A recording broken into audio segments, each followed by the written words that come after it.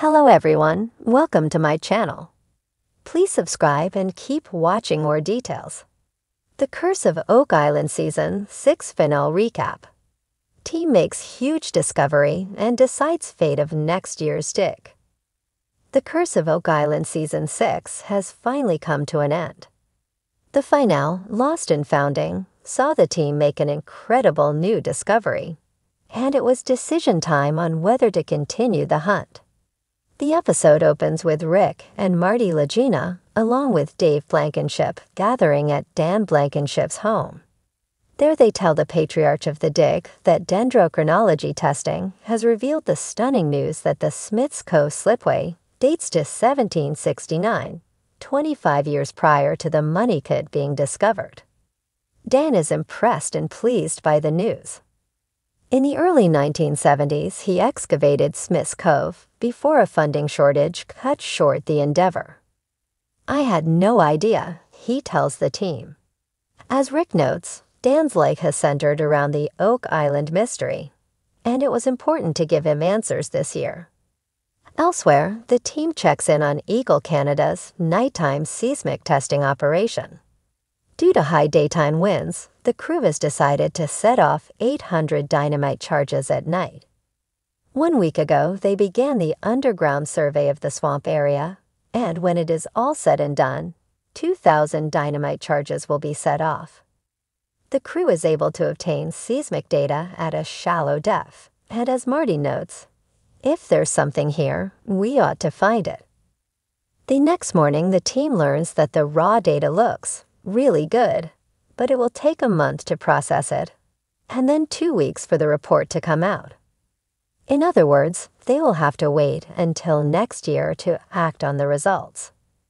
In the war room, the team meets with theorists Bruce Lindahl and Justin Kennedy.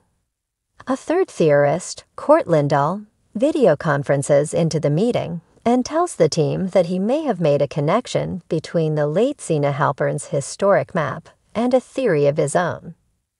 Two years ago, Zena showed the team a transcription of a map that mentioned the Rochefoucauld family of France, who had connections to the Knights Templar and could possibly have had a connection to Oak Island.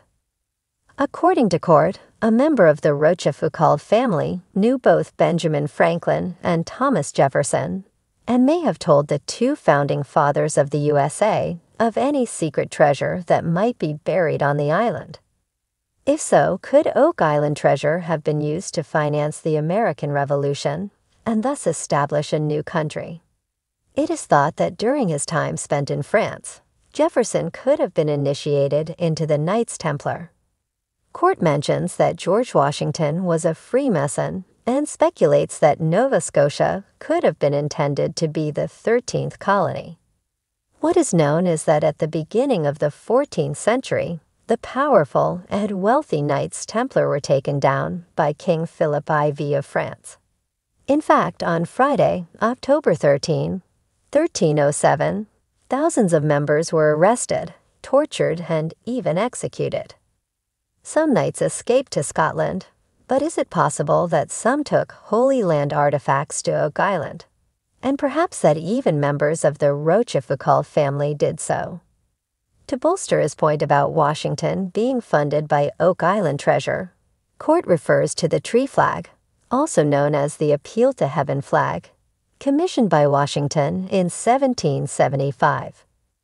The tree symbol on the flag signified colonial resistance to Great Britain during the American Revolution and there is a stone on the island that has a similar looking tree symbol.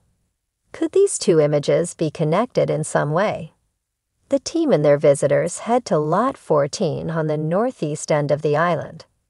There they examine the stone carving that appears to depict the Appeal to Heaven flag commissioned by Washington. I don't know, this is really strange, says one of the theorists, to which the other responds, It does look like a tree, though, doesn't it? Marty tells the others that this event opens up my thinking about what happened here. At Smith's Cove, the team arrives to oversee the ongoing excavation. There is just a week left before winter shuts down the operation and their permit runs out. Archaeologist Laird Niven informs them that he has found clay coming out in chunks among the boards being uncovered. Why put the clay in back? Rick asks, I have no idea what to make of it. All we can do is track it back. Could the presence of clay be evidence of 1850 searchers attempting to block off the flood tunnel to the money pit? Historian Charles Barkhouse confirms that there is no record of this latest find. As they dig, they discover more rocks packed with clay, as well as another wall, a few feet behind the first one. Metal detecting expert Gary Drayton Riley sums up the mood when he says, Another day, another structure. But wait, there's more. Laird finds a third wall, and when Marty inspects it, he thinks it could be a possible sluice box a device designed to channel the flow of water. Whatever that is, it's beautifully done, he says. With these three additional structures found, Marty thinks that more digging needs to take place in order to assess their significance. But while the investigation is far from over, their time has come to an end. We're out of time. We're basically done, says Marty, and tells the team it's time to assemble in the war room. Marty starts off the team's final war room meeting for the year by observing, It's that time again.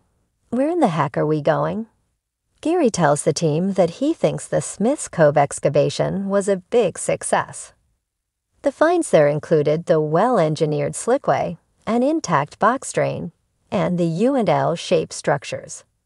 Marty says that before finding the slipway wood sample dating to 1769, he thought, Nothing happened here but collective madness.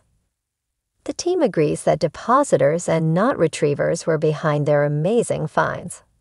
Historian Charles Barkhouse would bet his life that there is something significant there. Jack Begley concurs, saying he would bet his house and car. Dan says that they can't ignore the evidence found to Dave on the island, including bones, parchment, and bookbinding. The team is in consensus that there is something worth looking for on Oak Island. This year, the team revealed more pieces to the 223 year old treasure puzzle than anyone before them. Have they discovered something that could impact the fate of the entire world? According to Marty, there are significant questions that remain to be answered, answers that could rewrite history. He believes that they have proven that something substantial happened here prior to the discovery of the money pit, and he can't state how significant that is. There's a lot to look forward to, says Rick. He says they have experienced a long year of discovery, and he is looking forward to the upcoming year. With that proclamation, the team piles their hands on top one another in the middle of the table, and Rick concludes, one in all in, once and forever in. Let's go.